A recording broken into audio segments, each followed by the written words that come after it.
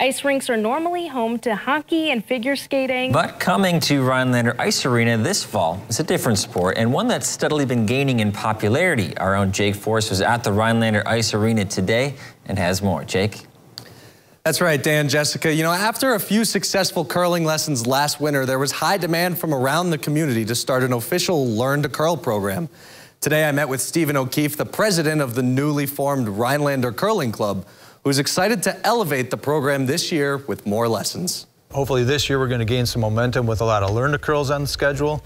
Uh, and we're also looking to have some leagues. So who's ever interested can come on down starting October 15th. Stephen O'Keefe has been curling for 20 years. After helping start the Rhinelander Curling Association in July, O'Keefe is looking to build the sport's presence here in the North Woods. He says the watershed moments curling had at the 2010 and 2018 Winter Olympics, the latter of which saw the U.S. take home a gold medal, have spiked interest in curling nationwide. Uh, a lot of clubs brought it up because of that. Um, and, and being such a community sport, uh, and Rhinelander never having curling, uh, with curling kind of surrounding it, it was just uh, ripe to kind of start a club. Uh, and get people involved just to see how great curling is. And for local hockey players, O'Keefe said not to worry. The lines for curling will be erasable. We're not going to change too much, and anything we do is going to be temporary.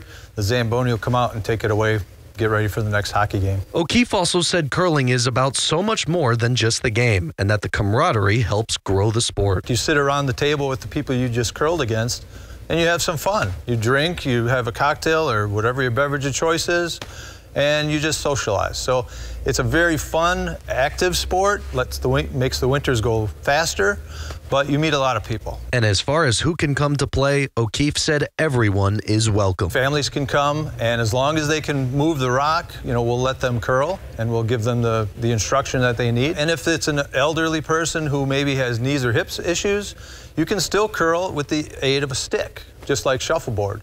So it is a sport for families. It's a sport for all ages. And O'Keefe also said that more information about Learn to Curl can be found at the club's website, RhinelanderCurling.com.